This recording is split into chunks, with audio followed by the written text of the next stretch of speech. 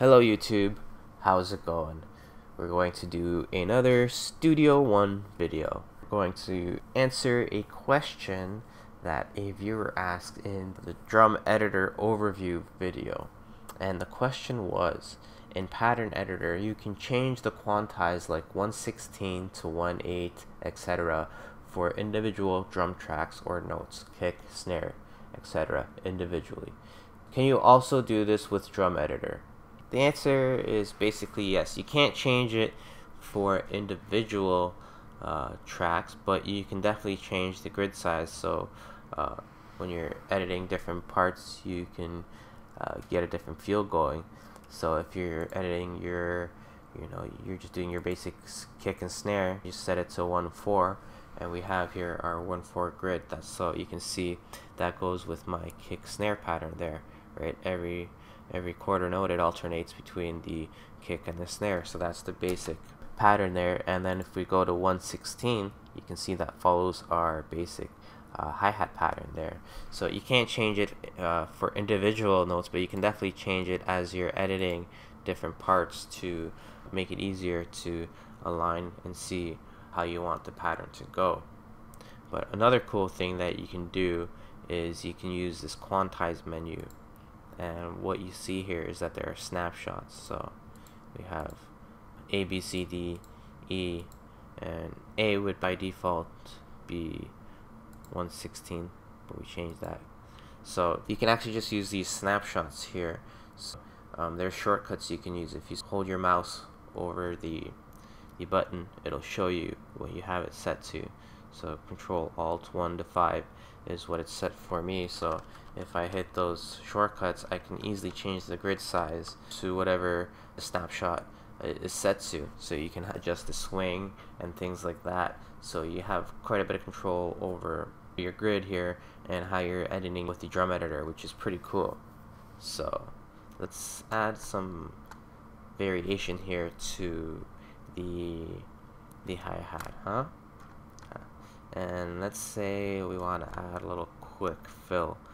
Uh, let's do that right here before the third bar comes in. And I want to change the quantize to let's do 132 yeah.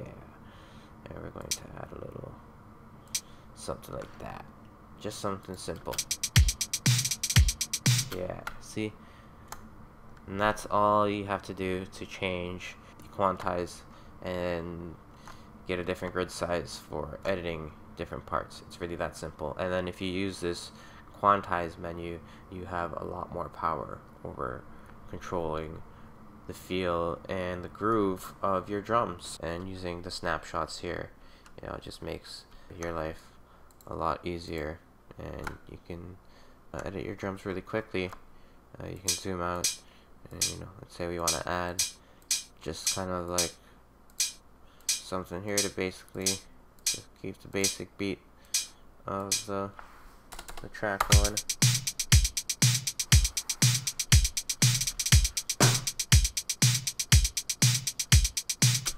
Alright, and let's see, we want to add some more uh, fills.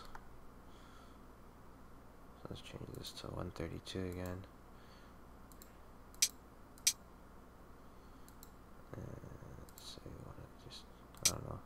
Change things up.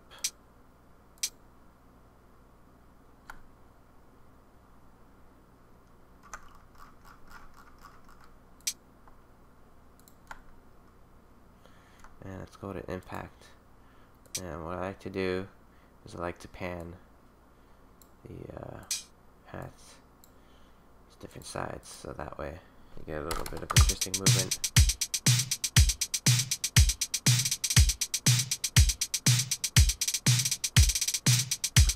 And we can also go select these. And select these two. And let's use the humanize feature. Humanize. So we won't really change the the movement off the grid but we'll change variation of the velocity. So there's some more interesting movement going on these. There we go. Alright, so let's listen to that now.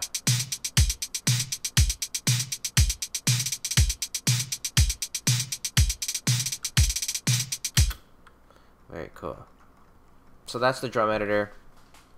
And that's how you can use the quantize and these snapshots here to easily edit and create some cool drums for your tracks. So if you found this video useful, please like, subscribe, and all that cool stuff. Leave a comment, and I will see you guys on another video soon. Take care.